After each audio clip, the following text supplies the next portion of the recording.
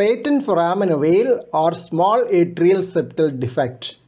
Echocardiogram from subcostal view showing the interatrial septum with a small defect and left to right flow across. Please subscribe to this channel for future updates. Click on the subscribe button.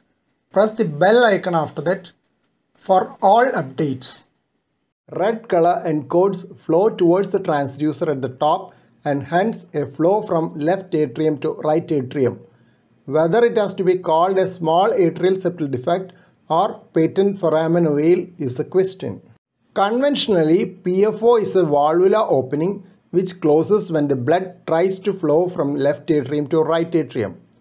In certain phases of the cardiac cycle or during a Valsalva maneuver, right to left flow of blood can occur across a PFO. This is thought to be the mechanism of paradoxical embolism and stroke in case of PFO. Left to right shunt can occur across a stretched open PFO when the right or left atrium enlarges due to another pathological condition which elevates the left atrial pressure. In this case, there was an associated ventricular septal defect, but the size of the defect and the magnitude of shunt across the VSD was not sufficient enough to produce volume overloading of the left-sided chambers. If there is spontaneous left to right shunt throughout the cardiac cycle, the defect is better considered as a tiny atrial septal defect rather than a PFO. The reason is that PFO by definition is a valvular opening which permits shunting only right to left. PFO shunts can be detected by saline contrast echocardiography in which agitated saline is injected into a peripheral vein.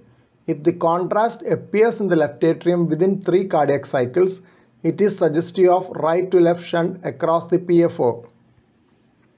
Transesophageal echocardiography may be better for the demonstration of PFO because of higher resolution.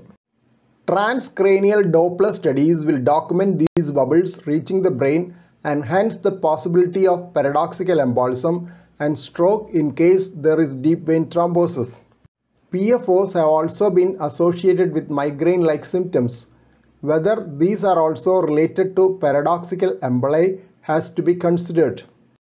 PFO closure has been recommended for the secondary prevention of stroke as well as for primary prevention of stroke in case of transient ischemic attacks.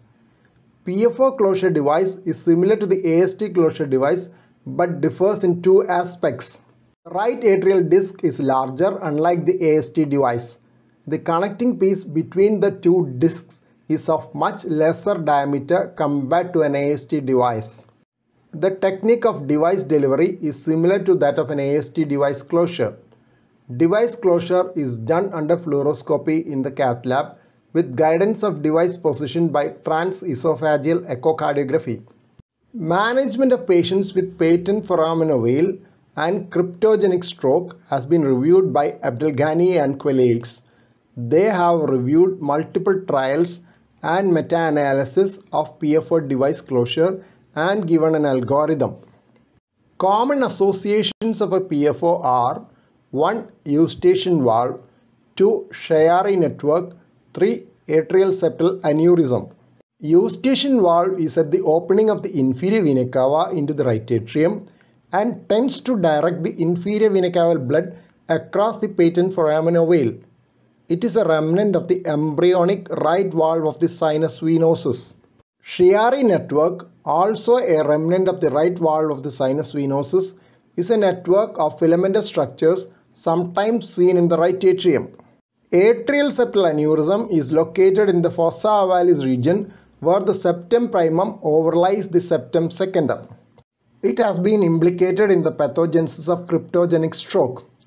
Though there was a significant correlation between septal excursion distance and infarct volume, in a study, 12 patients with atrial septal aneurysms did not have the largest strokes. Here are a couple of relevant journal references.